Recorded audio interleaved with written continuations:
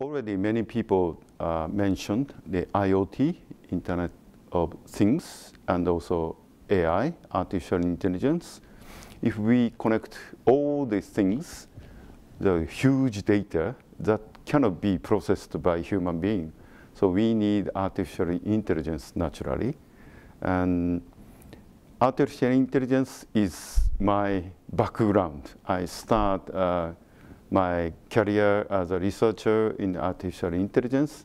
Now it's time to really uh, apply the AI technology to the huge data collected by IoT. That's the positive side. Uh, the other side is uh, cyber security. Now the, uh, it's quite serious. Uh, many uh, bad or serious incident happens. I'm working for the national level uh, security uh, committee and JP government, and then uh, that's a negative side. So key issue here is both sides. Uh, we need sharing of data uh, because the one positive side, artificial intelligence, many people simply believe, still believe that the, if we collect the data, we can do something.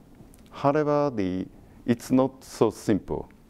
According to the theory of inductive learning, we need negative data. So expert human being just know the positive examples and negative examples. Just a simple uh, explanation is just a subtract arithmetic. The school kids usually fail to fulfill the just a simple arithmetic if the uh, number is too large. Then the school teacher's role is just pointed out. This is right, this is wrong. So that kind of combination, positive data, negative data, necessary for real artificial intelligence that would be helpful to human being. Negative sign, once a, we call the uh, virus it's just the similar uh, creature or the wild uh, thing, just like a human disease.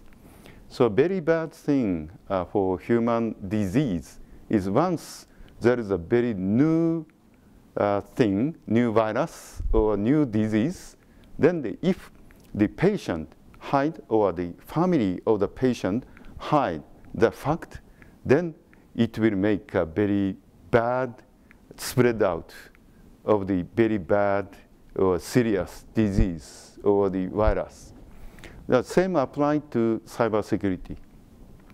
If there is something bad, something uh, very special to uh, thing, just like a new attack technique or new penetration or compromise or something, then we should share the information even if it's a negative, just like a, a good cold. Uh, we should share the information so that we can prevent the real bad incident.